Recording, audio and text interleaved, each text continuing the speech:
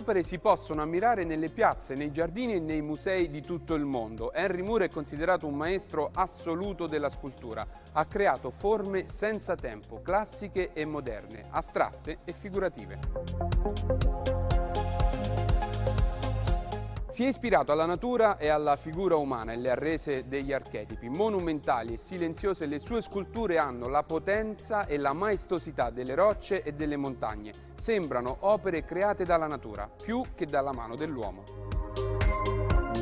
Siamo alla centrale Monte Martini, un luogo dove si incontrano classicità e modernità. Sentiamo il nostro ospite Sergio Gaddi. Il grande scultore inglese Henry Moore, figlio di minatore, quindi di umili origini, ha una grande fascinazione nei confronti della cultura precolombiana, delle sculture anche mesopotamiche. Le diverse culture del mondo lo affascinano perché nella sua opera più che cercare il perfetto ideale della bellezza vuole la manifestazione della vita, vuole fare in modo che la diversità che si scopre nelle varie culture possa essere sintetizzata all'interno della sua opera. Ecco perché c'è anche una sorta di metafora tra la figura umana e l'ambiente naturale. È come se eh, la grande armonia della natura possa entrare nella figura e diventare parzialmente astratta. Ci sono opere dove accanto ad elementi realistici si vedono elementi universali legati al paesaggio, quasi con una sorta di commistione. Eh, in tutto ciò eh, Moore non ha solo un percorso scultoreo, ma c'è anche un'interessante fase di pittore o disegnatore, potremmo dire, con i cosiddetti shelter drawings, vale a dire i disegni fatti nella metropolitana eh, londinese nel 1940,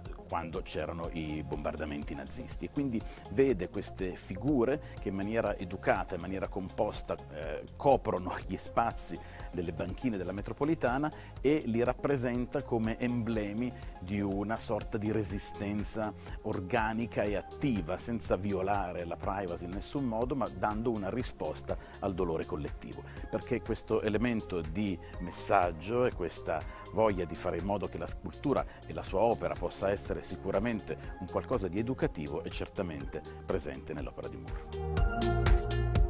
Questa sera su Art Night vi proponiamo un documentario storico su Henry Moore in cui è lo stesso artista a raccontarsi.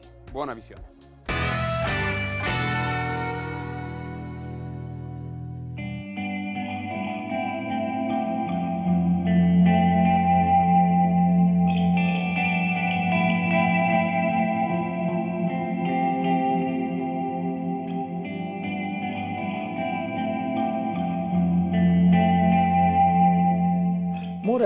Artista eh, che ha realizzato delle opere in scultura che possiamo definire eterne, in fondo, ancora oggi, eh, di una bellezza perenne eh, che rispondono ai sentimenti, alle emozioni, agli interrogativi degli esseri umani senza i limiti di tempo e di spazio.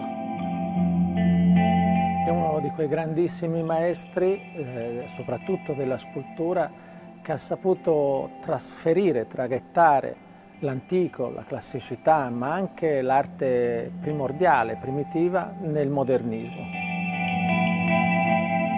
È stato un artista che ha partecipato al clima culturale di innovazione dell'arte pittorica e scultorea del secolo, del Novecento. Ovviamente è stato capace di assorbire anche la lezione eh, dei grandi maestri delle avanguardie del primo Novecento. Ma è stato anche capace di portare equilibrio nel rapporto fra uomo e natura, fra civiltà, cultura e natura.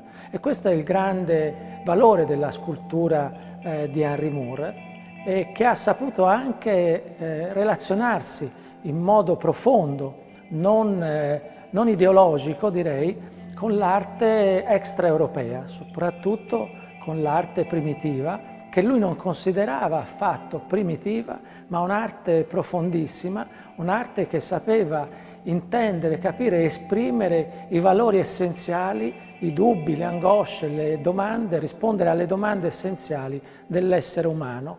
È per questo che Henry Moore parlava dell'arte primitiva come un'arte semplice, ma essenziale, assoluta. Ed è questo che lui ha cercato in ogni momento della sua vita artistica.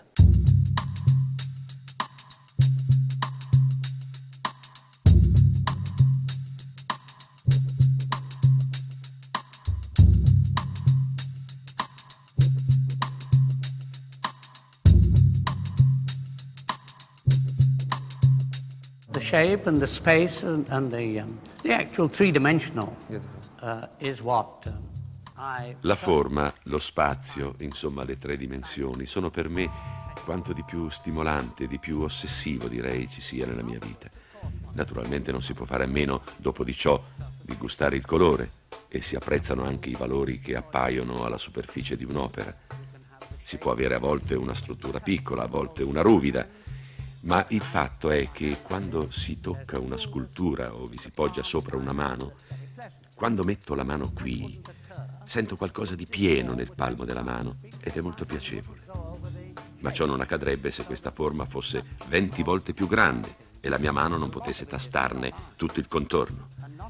Quindi questo toccare, questo valore tattile è in gran parte nel vostro spirito e non sempre nell'esperienza fisica di una scultura particolare.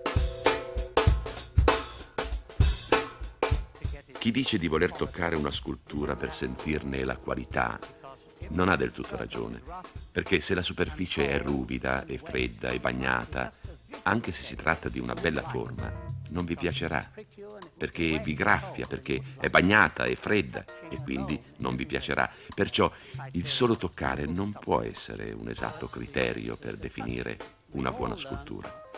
Comunque, noi tutti abbiamo imparato a conoscere le forme attraverso il contatto, quindi il fatto tattile è importante.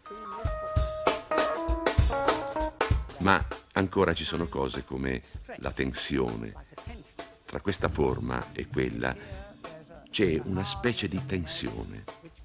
Qui c'è una durezza e uno spigolo che vi danno la sensazione di una solidità che non è quella di un pallone gonfiato. Si viene quindi ad avere un contrasto di forme. Un contrasto che esiste anche nel corpo dell'uomo. Io cerco di far risaltare nelle mie sculture il fatto che c'è qualcosa che preme dall'interno, così come qui è come una nocca che preme dall'interno, piuttosto che una copertura all'esterno della forma. Per alcune di queste sculture ho voluto fare qualcosa che, girandole intorno, cambiasse continuamente. Così, pur essendo la stessa scultura, non ho voluto che a lei che sta là appaia uguale a quella che vedo io da qui. Insomma, ho voluto che l'osservatore veda dei cambiamenti e abbia delle sorprese girandole intorno, in modo che il suo interesse sia continuamente sollecitato. Anche la superficie comunque ha continui mutamenti, si va dal levigato al ruvido, fino alla corteccia, quasi direi alla pelle d'elefante. Può darsi, perché credo che la superficie di una scultura non debba esservi semplicemente posata sopra. Non si tratta di qualcosa che si fa indossare alla scultura, un abito. La superficie, il tessuto esterno di una scultura devono essere il risultato di ciò che volete fare e degli strumenti che usate per farlo. Voglio dire, non si può fare ciò che ci si prefigge, per esempio una pressione dall'interno, lasciando tutto ruvido. La scorza esterna deve essere come la si trova nella natura, se la superficie fosse tutta ruvida, non si potrebbe avere la sensazione che vi sia una data pressione dall'interno, oppure ci possono essere delle parti che hanno perso la loro levigatezza. Insomma, il carattere della superficie deve essere il risultato della vostra idea primigenia di ciò che volete esprimere e deve rispecchiare gli strumenti di cui vi siete serviti per realizzare la scultura. Non bisogna dire mi piacciono le cose ruvide o mi piacciono le cose levigate. Ruvido e levigato sono come bianco e nero, come i colori caldi e freddi. Non piacciono solo gli uni e non gli altri. Fanno tutti parte della forma.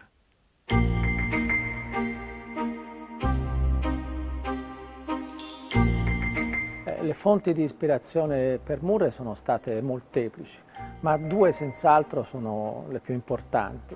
Eh, sono state l'arte primitiva, che lui conosce eh, attraverso le visite che, che effettua nei, nei, diversi musei, soprattutto il British Museum e il Victorian Albert Museum. Là può incontrare l'arte cicladica, l'arte precolombiana, l'arte sudamericana ma anche quella oceanica e questa diventa una sua fonte di ispirazione assai importante. Il British Museum è stato importante per la mia formazione artistica perché mi ha fatto vedere che, contrariamente a quello che pensavo, l'arte greca e il Rinascimento non erano gli unici modelli cui ispirarsi in pittura e in scultura. Dopo alcune visite al British Museum cominciai a rendermi conto che l'ideale di bellezza greco aveva dominato il mondo artistico solamente per pochi secoli, mentre per migliaia di anni la scultura aveva avuto altri obiettivi. Studiando l'arte sumerica, egizia e negra e anche messicana, mi accorsi che queste civiltà avevano un ideale di bellezza diverso da quello greco. Così cominciai a capire che mi si apriva dinanzi un enorme campo d'azione.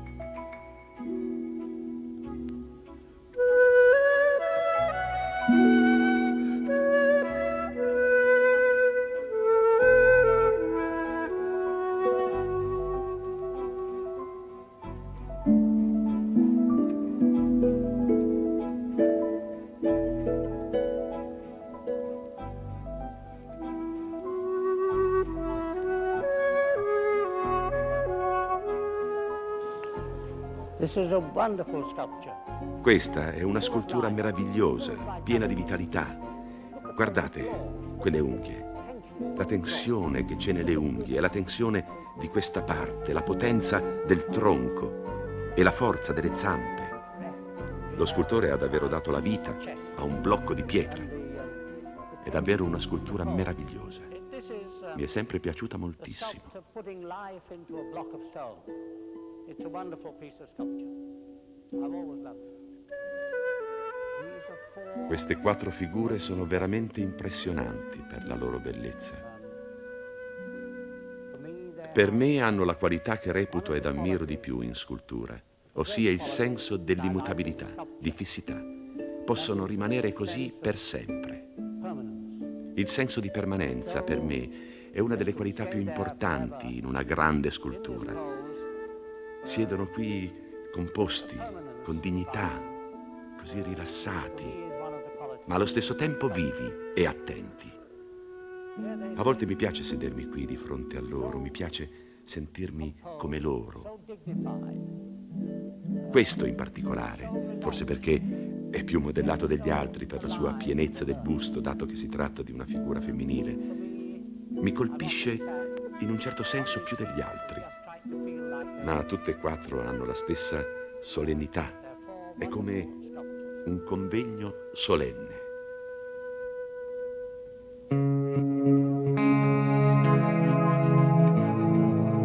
Sebbene un punto di riferimento essenziale della vicenda artistica di Henry Moore sia in un certo senso piuttosto l'arte messicana che, che quella europea, eh, la sua frequentazione con eh, l'arte italiana, con l'Italia, eh, i musei italiani, i, i luoghi eh, del nostro patrimonio è stata intensa fin dalla giovinezza.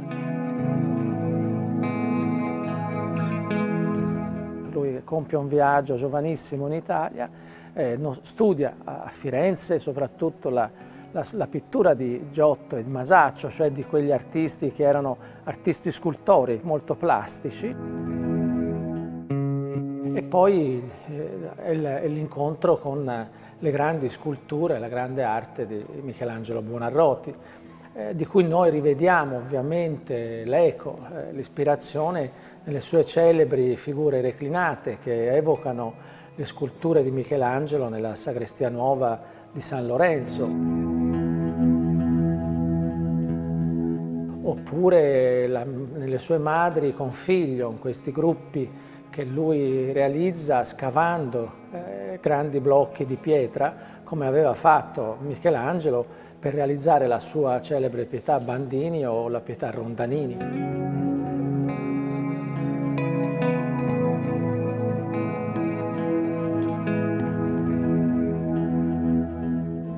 Da ragazzino, a scuola, le lezioni di disegno e arte mi piacevano più di qualunque altra lezione. Purtroppo alle elementari non avevamo molte lezioni di disegno e di pittura. Ce n'era una sola, il venerdì pomeriggio, che era anche l'ultima lezione della settimana. E io per tutta la settimana l'aspettavo con grande impazienza. Fu solo alle medie che si delineò chiaramente in me il desiderio di diventare un artista. Io e mia sorella frequentavamo una scuola domenicale presbiteriana e il sovrintendente della scuola era solito raccontarci a scopo educativo aneddoti e racconti sulla vita dei grandi personaggi. Una domenica ci raccontò una storia il cui scopo era forse quello di insegnare ai bambini l'utilità di ascoltare i consigli che vengono dati. Ecco la storia. Michelangelo stava lavorando nel suo studio a Firenze e a quel tempo la maggior parte degli studi erano aperti sulla strada.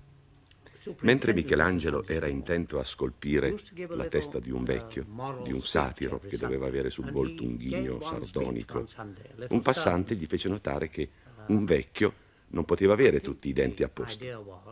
Michelangelo subito s'accorse del suo errore e con un colpo di scalpello eliminò due denti. La morale era che se un uomo così importante, il più bravo scultore di tutti i tempi, era pronto ad ascoltare i consigli di un semplice passante, a maggior ragione noi bambini dovevamo ascoltare i consigli che ci venivano dati. A me non interessò molto la morale della storia. Quello che mi aveva impressionato invece era il fatto che il più grande scultore di tutti i tempi si chiamava Michelangelo. Quando tornai a casa guardai nell'enciclopedia per i bambini e vidi per la prima volta le riproduzioni di alcune sculture di Michelangelo. Da allora in poi, a chiunque mi chiedeva cosa avrei fatto da grande, invece di dire che sarei diventato un conducente di treno o di autobus, rispondevo che sarei diventato uno scultore.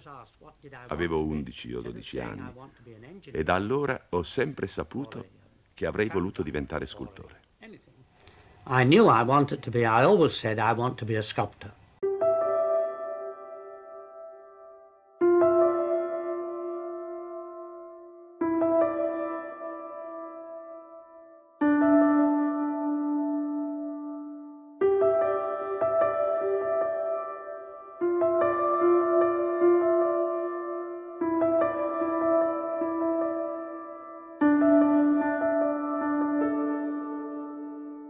Suo rapporto con eh, Firenze non si limita ovviamente alla frequentazione, alla conoscenza delle opere dei, dei grandi maestri del 300, del 4 e 500. Eh, continua e si estende soprattutto nella, nella vicinanza nella frequentazione delle cave di marmo delle, delle Apuane, eh, dove lui a Querceta piuttosto che Pietrasanta, dove lui comincia presto a, ad arrivare per eh, realizzare le sue, grandi, le sue grandi opere in marmo.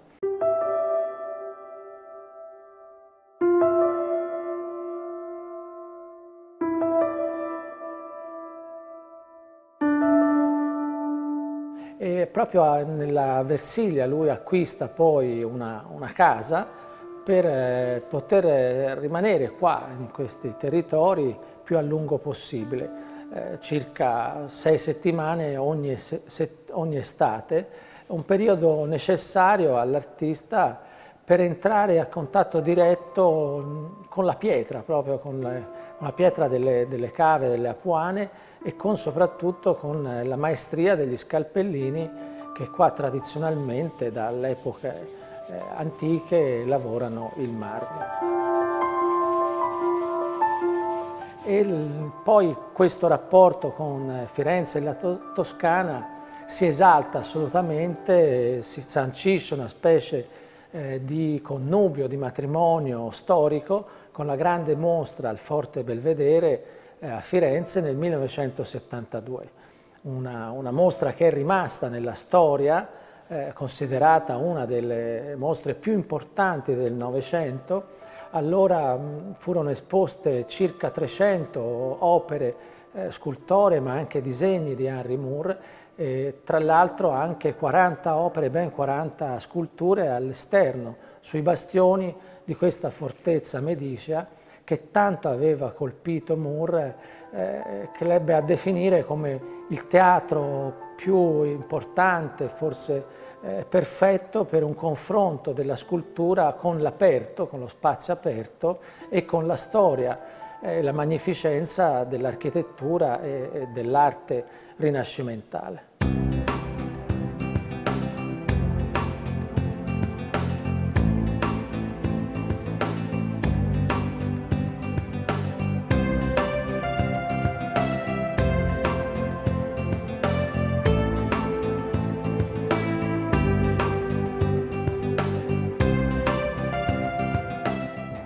Io penso che la base della scultura sia la figura umana. Certamente lo è per me, credo però che lo sia per tutti. Tutti noi impariamo cos'è la forma e anche cosa sono le misure dei nostri corpi. Il fatto che gli esseri umani stiano dritti e non camminino come gli animali ci dà meglio il senso della gravità, della orizzontalità e della verticalità. Gli animali possono addormentarsi anche in piedi, sulle quattro zampe, quindi per me è tutto collegato al corpo umano. E non sono l'unico scultore ad avere questo parere. Anche Rodin oppure Michelangelo, praticamente tutti gli scultori tradizionali, si sono basati sulla forma umana. Per me la figura umana è anche la cosa più eccitante che possa esistere, ma se ci osserviamo attentamente noi riusciamo a capirci più a fondo e siamo quindi più critici. Per questo non possiamo permetterci una rappresentazione fiacca del corpo umano oppure qualche incomprensione del corpo umano. Diventiamo più critici e abbiamo un maggior grado di sensibilità. Per questo forse ci piace creare forme sempre migliori, tutte basate sulla figura umana. In altri tempi lei ha dichiarato sono sempre rimasto profondamente colpito dalla spaziosità delle cose forate il vuoto per me nello spazio ha la stessa importanza del pieno. Ci può spiegare questo concetto? Well, um, eventually one realizes that um, form and space are the same thing. In fondo dovremmo renderci conto che forma e spazio sono la stessa cosa. Infatti non possiamo arrivare a capire qual è la forma di qualcosa se non abbiamo bene in mente cos'è che essa sposta nell'aria. Io non posso capire la forma della sua testa se non cerco di immaginare com'è dal di dietro e quale vuoto lascerebbe se io la portassi via. Spazio e forma per me possono essere intercambiabili e quindi possono essere la stessa cosa. Lo spazio, in un'opera del genere, quello che avviene dietro e dentro a questa forma ha la stessa importanza della forma stessa in un lavoro come quest'altro, il fatto che questa parte possa aggiustarsi dentro quest'altra qui, che si adatti perfettamente come quando si incastra una cosa in un'altra, ha la stessa importanza della forma stessa. Così lo spazio e la forma divengono come saldati assieme, fanno parte della stessa cosa.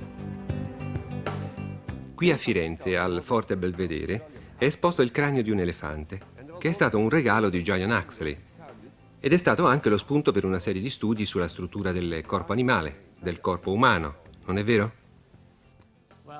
Il teschio di elefante è la struttura scheletrica più complessa che io conosca. Osservandolo giorno dopo giorno, ho potuto trovare in esso ogni genere di idee per la creazione di sculture. Rendendomi conto di queste possibilità, ho preso a trarne dei disegni. E poiché volevo fare qualche acquaforte, cominciai a disegnare direttamente sulla piastra e mi resi conto che avrei potuto sviluppare altre centinaia di idee. Ma a volte bisogna fermarsi. All'interno del teschio di elefante c'è anche tutto un mondo fatto di fori, di pertugi, di passaggi, eccetera. Sì, è proprio così. Si può addirittura trovare delle rassomiglianze con le prigioni del Piranesi, con gallerie, altre zone molto piatte come deserti. Sì, certo, è pieno di cose del genere. Ho ancora questo teschio. e può darsi che continui a trarvi altri disegni, perché posso trovare delle parti che non ho ancora esplorato. and found in it I could have gone on for another um, uh, hundred ideas.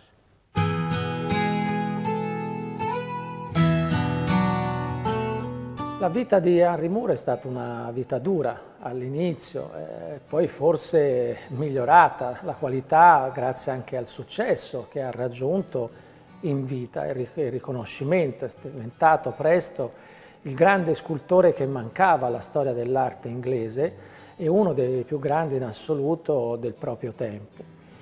Tuttavia la sua vita è iniziata appunto con eh, anche difficoltà, figlio di un minatore dello Yorkshire, è stato avviato dal padre ben presto, subito all'educazione artistica e alla cultura, perché proprio il padre vedeva nel riscatto quasi eh, culturale una via di fuga da una vita di sofferenza e di dolore e di fatica come quella della, del minatore. Come figlio di minatori e vivendo in un certo ambiente, in quale misura la sua origine e il suo ambiente hanno poi influito sulla sua vita. Non credo che l'ambiente da cui provengo mi abbia influenzato in qualche maniera. Mio padre era un uomo di notevole personalità, era quasi autodidatta ed era andato a scuola solo fino ai nove anni, ma aveva imparato a memoria tutto Shakespeare.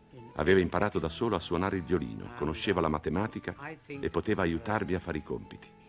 E tutto questo l'aveva imparato da solo, dimostrando chiaramente in quale considerazione teneva l'istruzione. Infatti, ci spingeva a proseguire gli studi e mi fece fare gli esami due volte, per cui vinsi una borsa di studio per la scuola superiore. Non credo che l'atteggiamento di mio padre nei confronti della cultura avesse niente a che vedere con il fatto che lui fosse un minatore era semplicemente quello in cui credeva. Egli amava i libri e la cultura. Ci sono stati poi eventi ovviamente che hanno eh, fortemente segnato la sua, la sua anche ispirazione, la sua interiorità di artista e principalmente però di uomo direi. Eh, è stata la, la, prima guerra mondiale dove lui viene ferito, eh, anche gravemente, in, una, in, una, fase della, de, della, battaglia e poi la conoscenza, l'esperienza della, della, seconda guerra mondiale che lo marcherà in, in, modo profondo e da qui lui ricava quei celebri serie di disegni eh, con le, gli, i cittadini londinesi eh, rifugiati nel, nelle, nelle metropolitane di Londra. Eh, celebri immagini che lo hanno reso famoso in tutto il mondo come il testimone eh, principale eh, della sofferenza, del dolore, della, del terrore generato dalla guerra. La prima volta che vidi la gente ripararsi dalle incursioni aeree e dalla minaccia delle bombe provai un'emozione unica, mai sperimentata prima vedere dei genitori spogliare i loro figli su un marciapiede della metropolitana tra lo sfrecciare dei treni e prepararsi a passare la notte nel rifugio. Ebbene, ciò era qualcosa che non avrei mai immaginato e a cui non avrei mai pensato. File e file di gente stipata sui marciapiedi della metropolitana, in un'atmosfera da claustrofobia. Il pensiero non poteva che andare alle navi di schiavi che un tempo attraversavano l'Atlantico. Insomma, un fatto che mi ha commosso.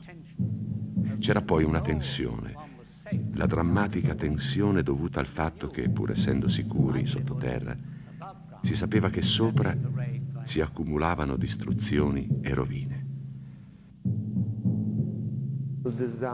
Lei fece anche dei piccolissimi disegni della battaglia di Londra, dei combattimenti aerei, dei bombardieri. Credo di sapere a cosa si riferisca. Quel foglio con un sacco di piccole idee. Come la gente nei rifugi, così anche i bombardamenti su Londra mi portarono a pensare agli spunti pittorici che potevano essere suggeriti dalla guerra. Henry Moore è uno dei grandi maestri dell'umanesimo in senso lato, un umanesimo che potremmo definire come valore universale e transtorico quasi, no? che attraversa la storia. Eh, Moore è riuscito ad aggiornare l'umanesimo, l'umanesimo rinascimentale, coniugando proprio eh, l'umanesimo primordiale, diciamo il, il senso dell'arte rispetto alla vita, ai grandi fenomeni della natura e anche dell'esistenza umana, a quella che è l'esperienza attuale, eh, contemporanea eh, dell'essere uomo, dell'essere uomo, uomo nella natura, uomo nella società, uomo ins inserito nel proprio tempo.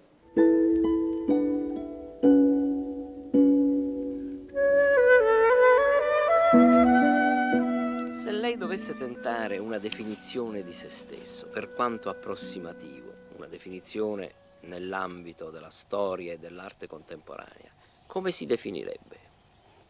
Non è possibile per un artista giudicare se stesso completamente dal di fuori. Uno è troppo preso dalle proprie idee, dalle proprie ossessioni in quello che crede sia d'enorme importanza. Queste idee possono avere adesso un'importanza enorme, ma forse fra qualche anno potranno rivelarsi non così importanti. Sono molto felice di agire e di essere scultore in questo particolare periodo storico.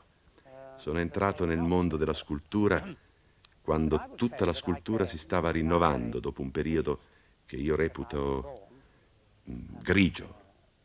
Infatti dal Rinascimento fino all'avvento di Rodin la scultura era molto meno eccitante, molto meno importante della pittura. Si può dire che un vero rinnovamento avvenne solo in pittura. Credo però che dopo il 1910 la scultura si è sviluppata in maniera stupefacente ed anche il numero degli scultori che ci sono nel mondo è aumentato in maniera incredibile. Quando io ero ancora un giovane scultore si potevano contare sulle dita di una mano gli scultori di una certa importanza in Inghilterra. Si potevano contare sulle dita di una mano anche gli appassionati di scultura, le persone che facevano collezione di sculture. Si sarebbero anche potute contare su una mano le mostre che venivano fatte a Londra. Ora sono centinaia. In questo senso sono molto contento di aver fatto parte di questo rinascimento, di questa rinascita della cultura e spero anche di avervi contribuito anch'io. Con Henry Moore inizia una nuova storia dell'arte e della scultura inglese. Il testimone eh, lasciato da Henry Moore verrà poi preso da artisti come Tony Craig, eh, Gormley, ma anche come Richard Deacon, oppure la Raquel Weichert. Un altro interessante aspetto è che molti diciamo, degli interessi di Moore, che hanno determinato anche la, la sua ispirazione, eh, le sue forme, eh, la sua ricerca così insistita sulla figura umana, ma non solo sulle forme della natura, hanno poi influenzato anche le generazioni più giovani degli artisti. Il suo interesse nei confronti, credo, soprattutto della natura e anche quello nei confronti delle civiltà e dell'arte extraeuropea. Bene, è naturale che io sia sempre stato interessato alle forme naturali. La forma di qualunque cosa deve essere motivo di interesse per lo scultore. Dopotutto lo scultore è qualcuno ossessionato dalla forma delle cose. Quindi la forma delle conchiglie, delle ossa, dei ciottoli, dei tronchi d'albero, degli animali, ogni cosa deve essere di interesse per lo scultore.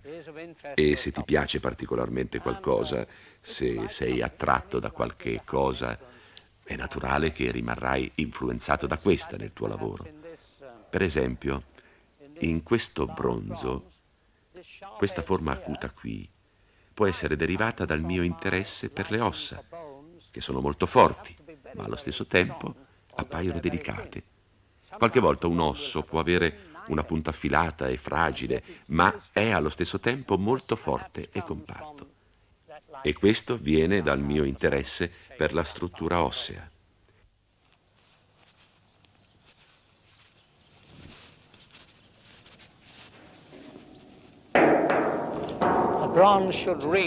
Un bronzo deve risuonare quando batti sopra.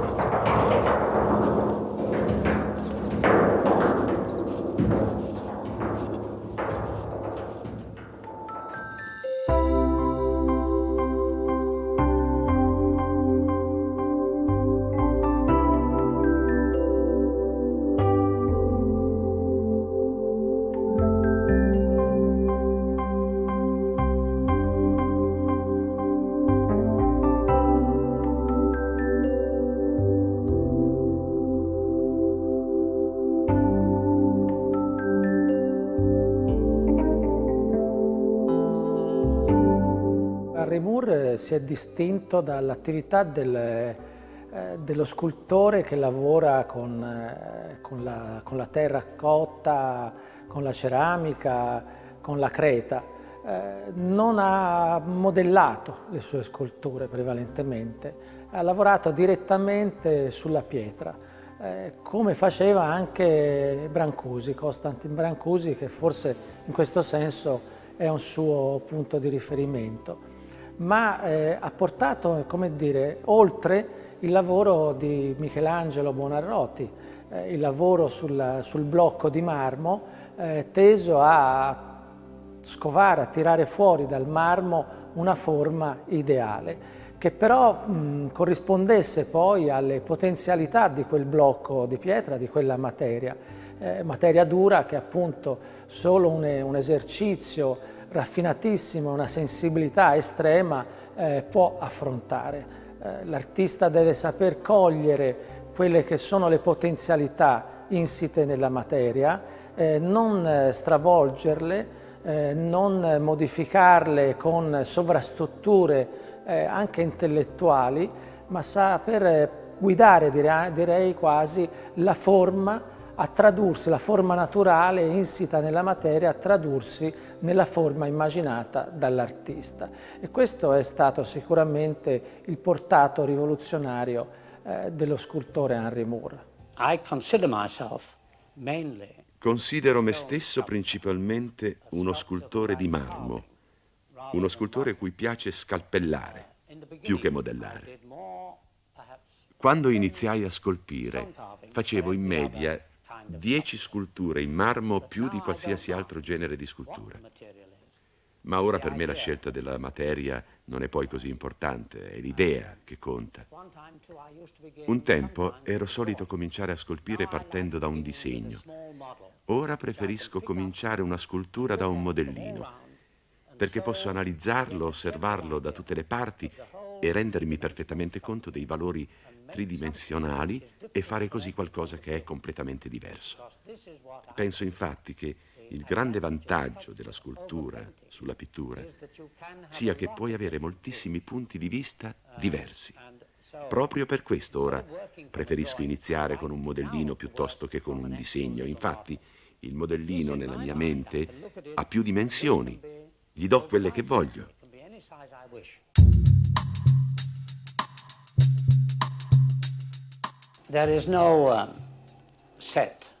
Non ho un vero metodo di lavoro e neppure una via speciale per condurre in porto una mia idea.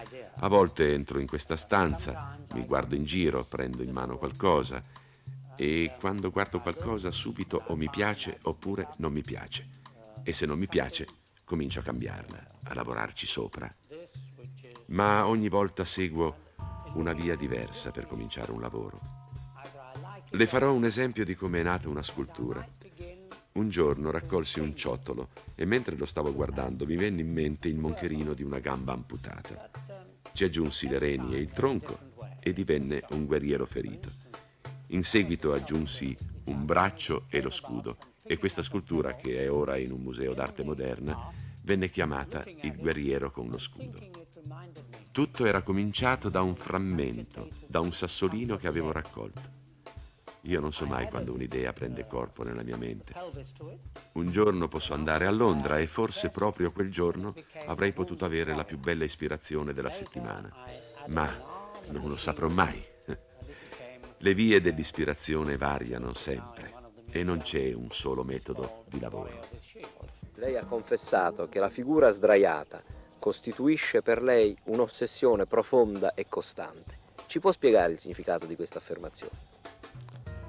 Well, every, um, I think all artists, writers, um, painters, tutti gli artisti, siano essi scrittori, pittori o scultori, hanno dei soggetti favoriti. Nel mio caso ci sono due o tre immagini che ricorrono ossessivamente. Una è l'idea della madre col bambino, un'altra è la figura giacente. Questi sono probabilmente i miei soggetti favoriti. Questo è un esempio di una mia figura giacente, fatta circa vent'anni fa. Le figure coricate mi piacciono perché hanno quiete e staticità. Puoi infatti mettere le membra in diverse posizioni, puoi ricavare migliaia di varianti da una sola posa. E questa è una di quelle. Arimur ha capito, ha compreso quanto eh, la scultura potesse avere ancora nell'epoca moderna e contemporanea una funzione più che sociale e rituale quasi fosse, fosse ancora al, al, centro della vita eh, sociale, pubblica. Eh, lui che ha colto appieno il senso, il significato e la funzione dell'arte, della scultura in epoche eh, primordiali, primitive, è, è, stato capace di eh, reinserire in modo quasi sacrale, direi, eh, l'arte nello spazio pubblico.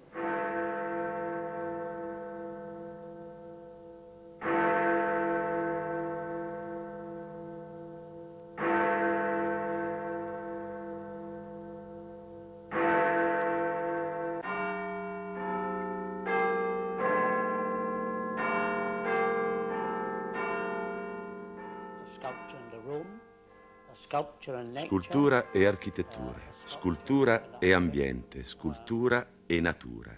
È naturale che ci sia un rapporto fra scultura e qualsiasi altra cosa.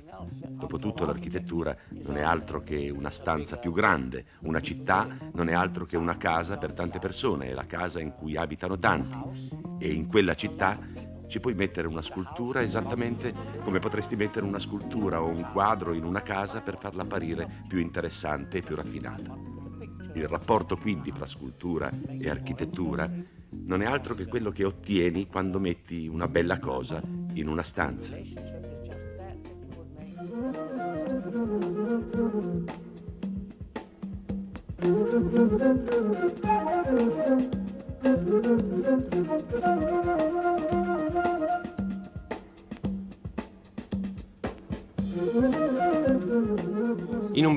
Lei affronta anche il problema scottante dell'energia nucleare. Può essere visto come un monumento ad un potere benefico oppure come un manifesto contro la bomba nucleare. Spero che abbia in sé entrambe le cose. Spero che la parte superiore della scultura abbia una specie di concentrazione esplosiva, mentre la parte inferiore è più architettonicamente umanizzata. Il modello che abbiamo qui è solo un terzo della scultura definitiva.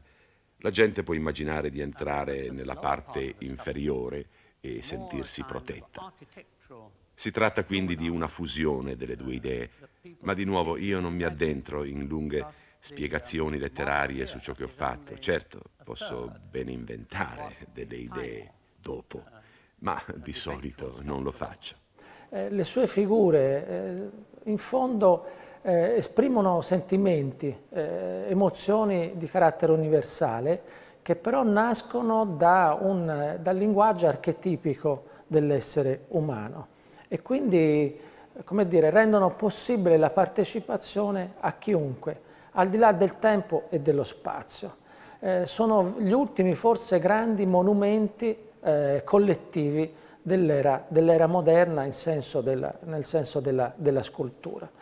Eh, questo penso sia proprio l'aspetto la, forse più potente eh, da, per un artista moderno eh, che lui ha raggiunto, questa, questo riuscire a riposizionare al, al centro della comunità e della collettività la scultura come veicolo di trasmissione di significati profondi condivisi da tutti. È stato detto che la sua arte è semplice ed è monumentale al tempo stesso. Concorda lei con questa definizione? Well, um, my, I think, I want, uh, Penso, voglio che la mia scultura, vorrei che la mia scultura fosse monumentale. La scultura nel suo periodo aureo, quello egizio oppure quello greco, è monumentale. Questa è una qualità che io ammiro e spero proprio che alcune delle mie sculture abbiano questa monumentalità. La monumentalità non è solo il fare una cosa più grande, perché la misura sola non può dare la monumentalità. La monumentalità deriva dalla visione, dal concetto. Se hai troppi dettagli e una superficie confusa, perdi la visione completa della linea. Perciò la semplicità fa parte della monumentalità. In questo senso, se non mantieni intatta e chiara l'idea, una scultura non potrà mai essere monumentale. Questa è una forma ad arco, come un ponte. E anche se è semplice, la semplicità non significa vuoto, oppure noia, o anche solo monotonia. Questo ho cercato di fare, o almeno lo spero. Vede, ci sono moltissime sezioni diverse l'una dall'altra. Questa sezione differisce moltissimo dalla sezione di quest'altra parte. E l'altra sezione reca in sé la stessa differenza che c'è tra un tronco d'albero che sta crescendo e un palo telegrafico, tutto uguale, da qualunque parte lo guardi. Se si taglia in questo punto, si ottiene una forma completamente diversa da quella che si otterrebbe se si tagliasse in un altro punto. L'idea a cui mi sono attenuto è che la forma deve essere semplice, ma allo stesso tempo piena di varianti. Si è anche parlato di Henry Moore che individua il macrocosmo nel microcosmo. You would say in English the universe in a seashell. Is it true? Well, uh, well, of course there is. I mean, you can have uh, La quercia si nasconde nella ghianda e dalla ghianda viene fuori la quercia. actually out of the acorn. Ma le piccole cose devono avere in potenza le variazioni che ha poi la cosa completa e fatta. Quindi, anche se rendi una cosa più semplice, non lo fai per renderla più spoglia, la semplifichi per concentrare un valore potenziale più grande. Se la guarda da un'altra parte o le gira intorno, potrà scoprire aspetti completamente diversi. So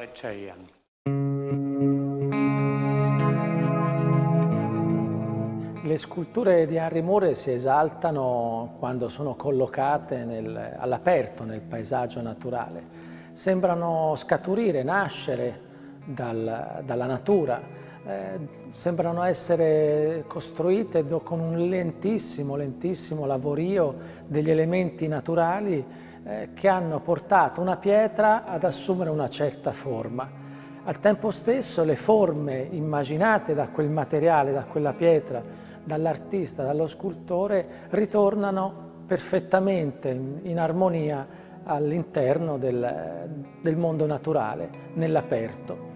Questa è un'armonia, direi, e un equilibrio che pochi altri artisti nel mondo moderno, un mondo anche travagliato da scontri, contrasti, eh, anche tragici tra uomo e natura, eh, hanno saputo realizzare eh, in modo così perfetto, assoluto e perenne.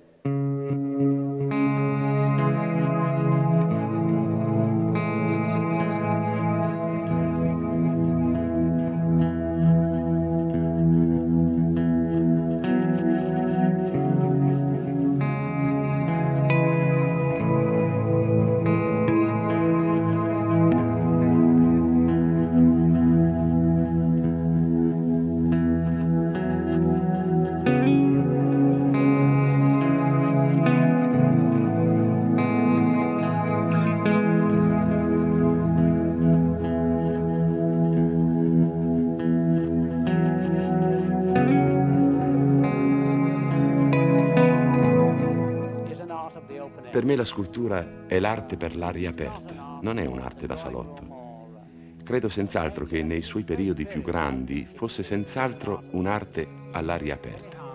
Comunque, mi piace vedere le mie sculture all'aperto, nel paesaggio.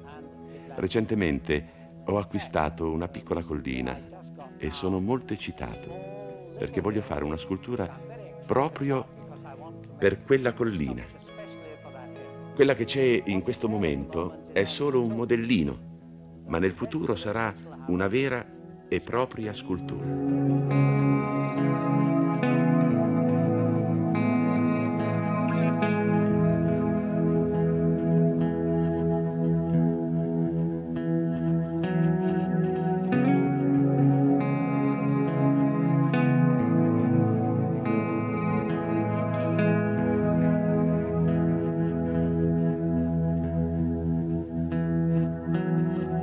Sono trascorsi circa 50 anni dalla grandiosa mostra organizzata al Forte Belvedere, la personale su, di Henry Moore, che ha fatto storia e soprattutto che ha cambiato profondamente il rapporto dei fiorentini in particolare, ma non solo, degli italiani con l'arte moderna e contemporanea, perché Moore è riuscito a eh, come dire, convincere, convincere che una nuova forma di bellezza, una nuova capacità espressiva fosse possibile anche nel linguaggio della scultura contemporanea, alla pari con grande, la grande tradizione della scultura rinascimentale del passato.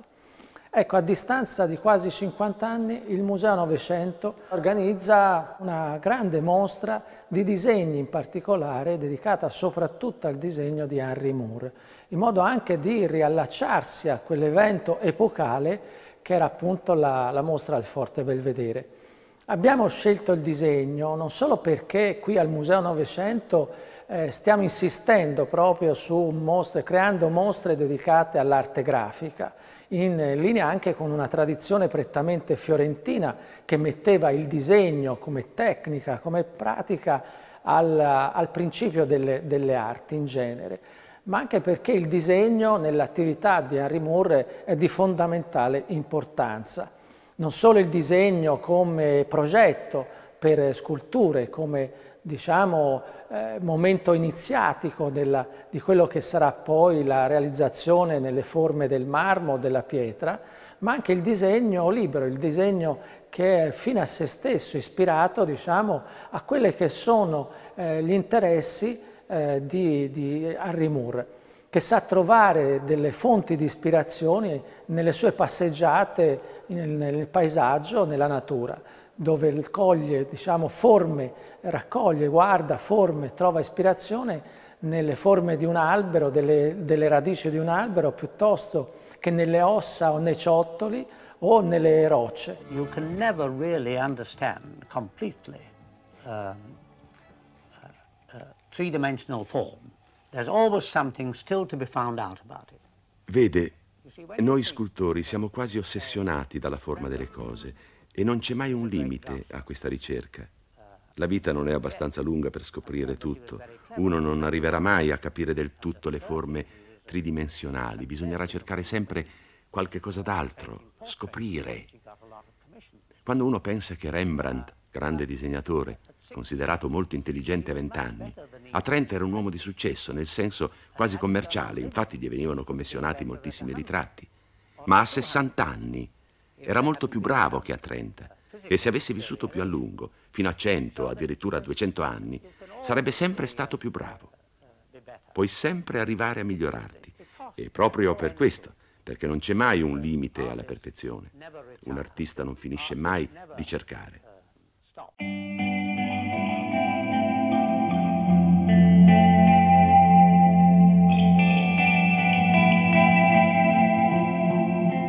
Storia dell'arte inglese, soprattutto quella della scultura, attendeva un grandissimo maestro come Henry Moore da molti secoli. Eh, quando lui è arrivato, appunto, la, anche l'Inghilterra ha avuto eh, il suo maestro eh, da contrapporre, confrontare eh, non solo con gli artisti delle, delle avanguardie parigine o europee, ma con i grandi maestri del, del, Rinascimento. Ogni grande artista, Henry Moore, lascia alla posterità, soprattutto alle nuove generazioni, un suo messaggio. Qual è il messaggio che le vorrebbe lasciare? Um, everybody leaves a message.